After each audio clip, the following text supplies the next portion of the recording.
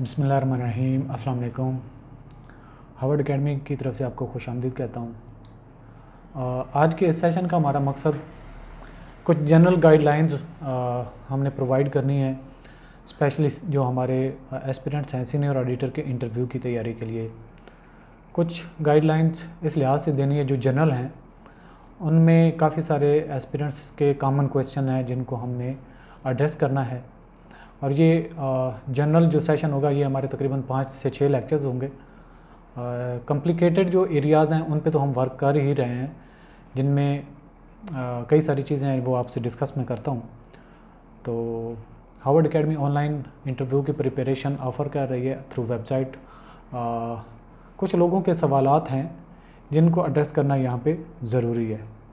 तो उनमें से अ, सबसे पहला क्वेश्चन जो ज़्यादा एस्पिरेंट्स कर रहे होते हैं कि जब हमारा इंटरव्यू होगा तो हमें अल्टीमेटली किसी फ़िज़िकल एकेडमी में जाना चाहिए, नहीं जाना चाहिए।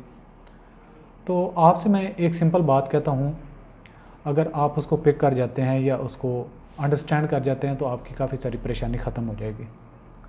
कि इंटरव्यू सिर्फ़ प्रैक्टिस का नाम नहीं है, कि आप जाएँ और सेशन करें और इससे आपके इंटरव्यू की तैयारी हो जाएगी। जैसा कि मैंने अपने कई सारे स्टूडेंट्स जो हमारे कोर्स में हैं, मैंने उनको भी ये गाइड किया, दोबारा गाइड करता हूँ कि जो हमारे लेक्चर्स या जो हम गाइडलाइन मुहैया कर रहे होते हैं, उनको सिर्फ़ और सिर्फ़ आपने वाच नहीं करना, सिर्फ़ और सिर्फ़ सुन के गिनती नहीं पूरी करनी कि हमने सारे लेक्चर्स देख लिए हैं। हर लेक्चर में कुछ ना कुछ एक्सरसाइजेज दी गई हैं कि आपने अपना इंटर जो कॉन्फिडेंस है, उसको कैसे बेहतर करना है, अपने नॉलेज एरिया को कैसे स्ट्रॉन्ग करना है। तो जो मेन डिफरेंस या डिफ्रेंशिएटिंग पॉइंट है वो ये है कि आपने अपनी पर्सनैलिटी को ग्रूम करना है। आप अगर इस लफ्ज़ पे गौर करें तो इंटरव्यू तो आपके अंदर अंदरूनी झाँक करेंगे अंदर से आपको झांकना चाहता है बोर्ड जो आपका इंटरव्यू करेगा। तो सिर्फ़ और सिर्फ़ आपकी ड्रेसिंग आपका बेहतरीन जो है वो आ, आ, आप अपने लुक डेफिनेटली इंटरव्यू का लाजमी पार्ट है। लेकिन सिर्फ़ और सिर्फ़ लुक से आपका इंटरव्यू कंप्लीट नहीं होगा। कई सारे लोग होते हैं, बड़ी माशाल्लाह से वेल लुकिंग पर्सनैलिटीज़ होती हैं, लेकिन इंटरव्यू में फ़ेल हो जाते हैं। क्योंकि आपको अल्टीमेटली जो आपकी सीवी बता रही होती है, जो आपकी एजुकेशन आपकी पर्सनैलिटी के बारे में बता रही होती है, आपको वो उसी चीज़, उसी लेवल पे जांचना चाहते हैं, आप उसके इन लाइन हैं या नहीं हैं।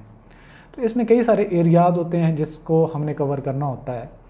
सबसे पहले तो ये होता है कि हमने अंडरस्टैंड करना कि जो पैनल है, उसका मकसद क्या है और पैनल की कंपोजिशन क्या है, वो आपसे सर्च क्या करना चाहते हैं।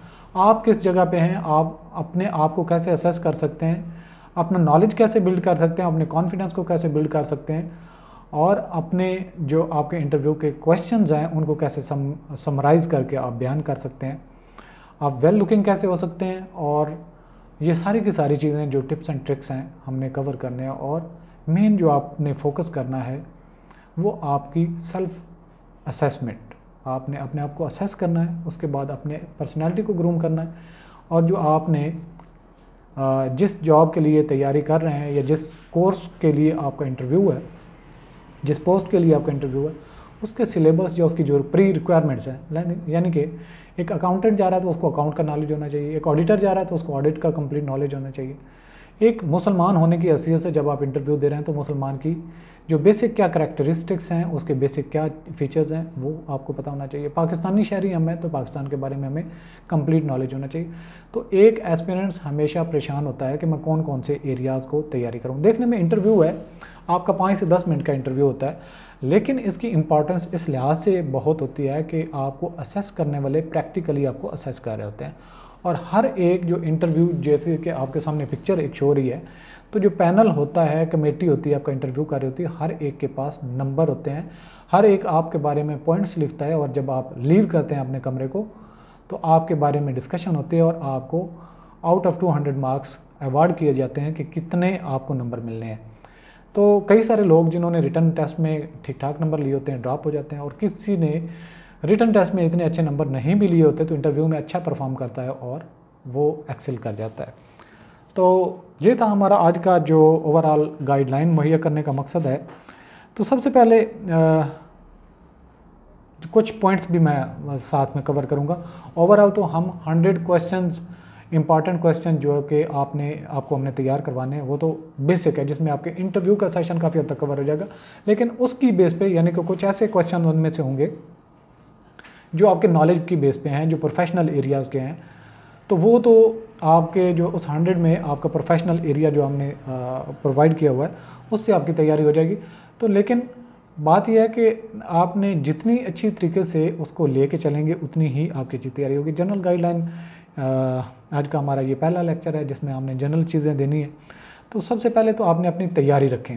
तैयारी करें विदाउट तैयारी कभी भी ना जाएँ और ये एक ऐसा सब्जेक्ट है जिसको आप जितना बेहतर तरीके से करेंगे आपकी पर्सनैलिटी पे डायरेक्टली इम्पैक्ट करेगा और वो शो आपको नहीं होगा कि आपने कि, कितनी पर्सनैलिटी को ग्रूम किया है। आपके अंदर यही रहेगा कि मैं कोशिश तो कर रहा हूँ, पता नहीं मैं मंजिल की तरफ़ जा रहा हूँ कि नहीं, लेकिन ये जो आपकी कोशिश होगी अल्टीमेटली आप ट्रैवल कर रहे होंगे अपनी मंजिल की तरफ़। तो प्रिपेरी जो प्रिपेरेशन है, उसको रखें। और प्रैक्टिस सिर्फ़ और सिर्फ़ आपकी ये नहीं है कि किसी पैनल के सामने आप आ जाएँ तो प्रैक्टिस आपकी हो जाएगी। या किसी आप एकेडमी में या किसी बड़ी एकेडमी में जाते हैं, हज़ारों जो है वो खर्च करते हैं, और आपकी प्रैक्टिस करने से आपकी इंटरव्यू की तैयारी नहीं होगी। नॉलेज बिल्ड करेंगे और अपनी कैपेसिटी जब बिल्ड करेंगे तो जब आपका इंटरव्यू होगा तो ऑटोमेटिकली आपने परफॉर्म अच्छा करना है जब आपके अंदर।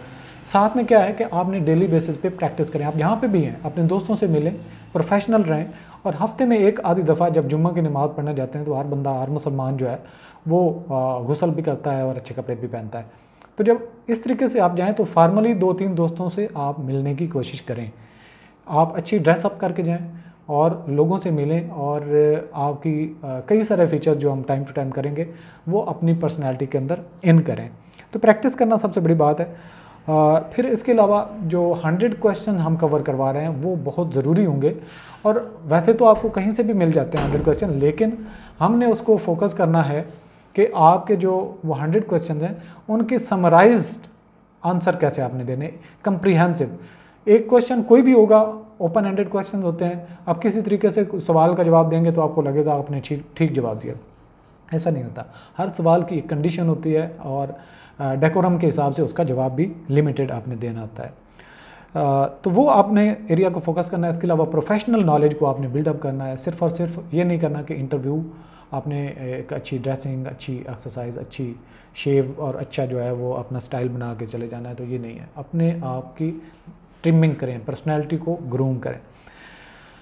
इसके अलावा आपके अपने बारे में नॉलेज होना चाहिए सेल्फ असेसमेंट होनी चाहिए, आपकी ऑर्गेनाइजेशन के मुतालिक आपका जितना भी जहाँ पे आप रह रहे हैं, आपकी अपनी बायोग्राफी जो है ऑटोबायोग्राफी लिखें, उस पर समरी बनाएँ, इस पर प्रैक्टिस करें। तो इन नेक्स्ट सेशन में भी हम मिलते हैं। तो ये हम छः सेशन में हम जनरल जो हमारी बेसिक लेवल की बातें होंगी, उनको हम कवर करेंगे। आज का लेक्चर यहाँ पर ख़त्म करते हैं। ताकि जितनी बातें आपसे बताई जाएँ, उनको आप अमल की तरफ़ जाएँ सिर्फ़ और सिर्फ़ सुन के उस पर अमल नहीं होगा। जब तक प्रैक्टिस नहीं करेंगे इन चीज़ों को कोई फ़ायदा नहीं। खुदा हाफिज़।